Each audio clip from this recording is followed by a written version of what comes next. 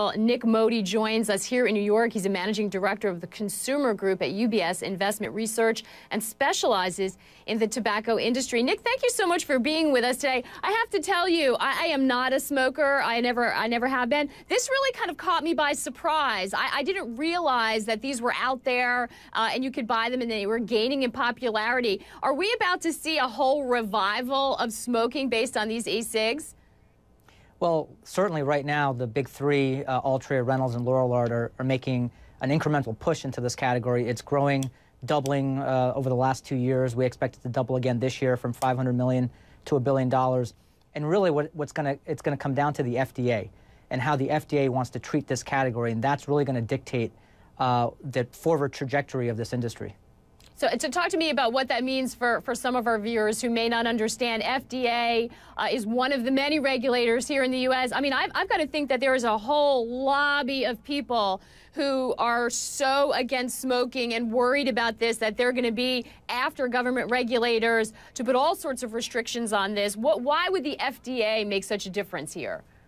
So the FDA has regulatory oversight of the tobacco industry, and e-cigarettes are classified as a tobacco product right now the bottom line is there are folks within the tobacco control industry, uh, the public health community, if you will, uh, that believe that this could be the answer to tobacco control. The science would certainly suggest that these products are less bad for you than cigarettes, though there's still more need, more work needs to be done.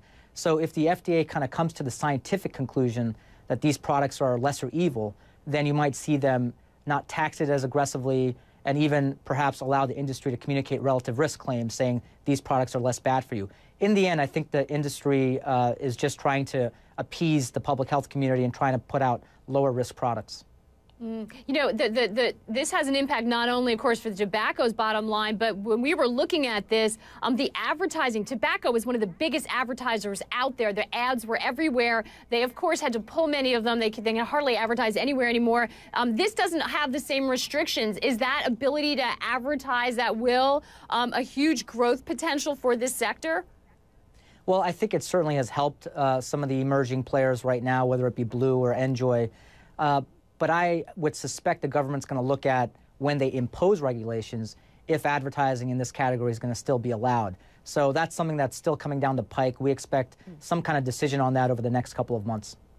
Nik, you've got to be worried about um, the, the health risk here um, in terms of whether this is a long-term buy, if this is a long-term business model for these companies. Um, you know, when we were looking into it, my understanding is the verdict's out. There are plenty of um, you know, health advocates that are concerned that don't believe these are safe? Is that the biggest risk for this segment?